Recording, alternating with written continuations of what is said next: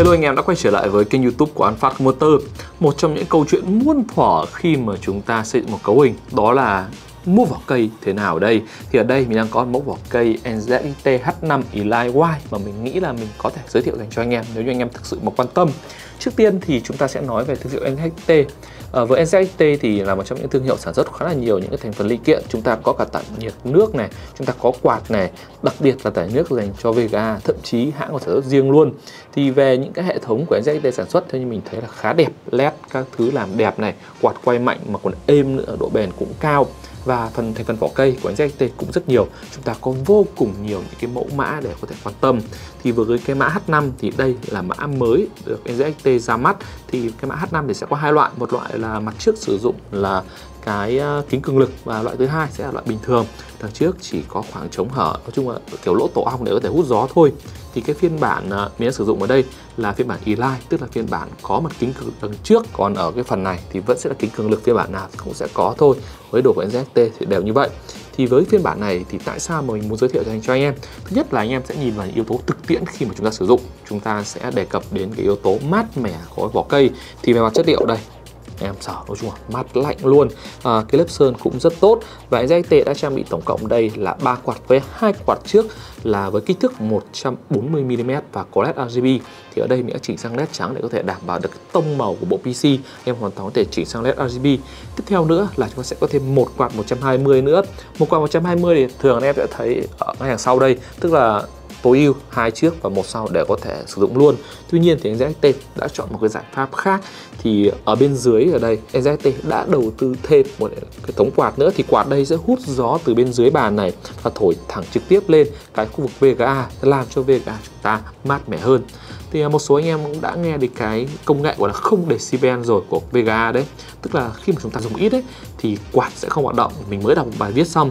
Cả đầu họa 52 độ C, kêu nóng thậm chí 52 độ, cái quạt VGA còn chẳng quay mà dùng kêu nóng thì đấy.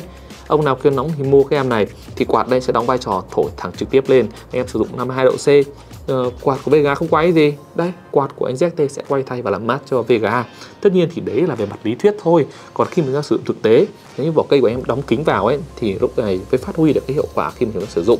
Và cũng sẽ khá là hay và thú vị nữa. Bởi vì thông thường cái phần này một là hãng sẽ làm che hết đi và hai là để thừa ra và em nhìn thấy dây. Tuy nhiên thì khi mà có cái hệ thống quạt rồi chúng ta sẽ không thấy gì nữa mà sẽ đẹp hơn.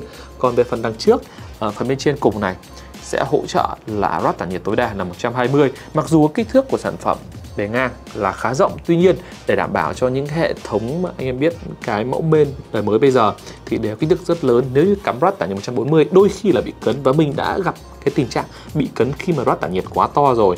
Thế nên thì với rát tản nhiệt 120 thì vẫn có thể đáp ứng được. Em hoàn toàn có thể sử dụng những cái mẫu CPU phải là không hiệu năng quá cao. Chúng ta có thể sử dụng Intel Core 5 hoặc là e i7 thì vẫn có thể cắm lên hoàn toàn ok. Còn với e i9 thì chúng ta cần phải làm ngắn lại cái phần kW và chuyển rát tản nhiệt 280 ra trước thì có thể đảm bảo được cái hiệu năng làm mát dành cho CPU thì đấy là về mặt cái cơ bản những cái cái cạnh bên ngoài để em nhìn thấy. Còn về mặt kích thước hỗ trợ thì sao? Cái bộ nguồn anh em có thể cắm vào và sử dụng ở đây thì là hỗ trợ cái bộ nguồn ATX, tức là bộ nguồn tiêu chuẩn thông thường. Main thì sẽ từ ITX Micro ITX và ATX thì đều có thể hỗ trợ để chúng ta có thể cắm luôn. Thì chúng ta sẽ có thêm ở đây là một tấm để che dây cho nó gọn gàng. Chủ yếu là cái ờ, mẫu nào cũng có thôi. Đằng sau thì chúng ta sẽ có được một cái hub với LED RGB điều chỉnh. Anh em hoàn toàn có thể sử dụng phần mềm NZXT Cam để có thể điều chỉnh LED RGB sao cho phù hợp hơn. Tiếp theo thì đây sẽ là phần mà mình nghĩ mà anh em rất là mong chờ. Đó là cái phần kích thước hỗ trợ của sản phẩm. Về ga dài bao nhiêu tản nhiệt các thứ thì mình sẽ công bố dành cho anh em để anh em có thể quan tâm. Thì mình sẽ lấy cái thông số ở trên hãng để công bố dành cho em.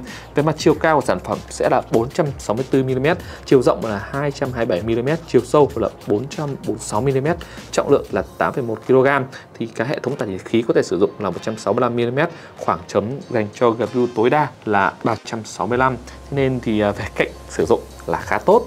Tiếp theo nữa là về những cái nút bấm đi. Về nút bấm trên sản phẩm thì à, khi mà anh em cắm đầy đủ dây dợ vào thì cái vỏ cây NZT này sẽ hỗ trợ thêm là một cổng USB Type A, một cổng USB Type C và một jack audio 3.5 đúng là theo kiểu của NZT cái gì cũng gọi hết sức có thể. Tôi nói chung là cắm vào cho vui thôi chứ còn anh em mà đầu tư hệ thống như này thì anh em cũng nên mua những mẫu men có nhiều cổng USB đằng sau để có thể sử dụng. Đây là một bài đánh giá về vỏ cây à, NZXT H5 để anh em có thể cân nhắc và lựa chọn là một trong những cái option để anh em có thể quan tâm. Và cái mức giá của em nó loanh quanh khoảng chừng là đây này đấy. Nếu, nếu như anh em nào mà thực sự thích những cái vỏ cây nó đẹp nó thực tiễn mà khi mà chúng ta sử dụng ấy thì anh em có thể cân nhắc. Còn về cái mức giá của sản phẩm thì dĩ nhiên anh em có rất nhiều option để chúng ta có thể quan tâm. Thậm chí anh em có thể mua vỏ cây rẻ một nửa xong đầu tư thêm thêm một linh kiện khác cũng được. Đấy là nhu cầu của mỗi người. Và anh em thực sự quan tâm thì đường link như thường lệ vẫn sẽ dưới phần mô tả video. Gặp lại anh em trong video sau.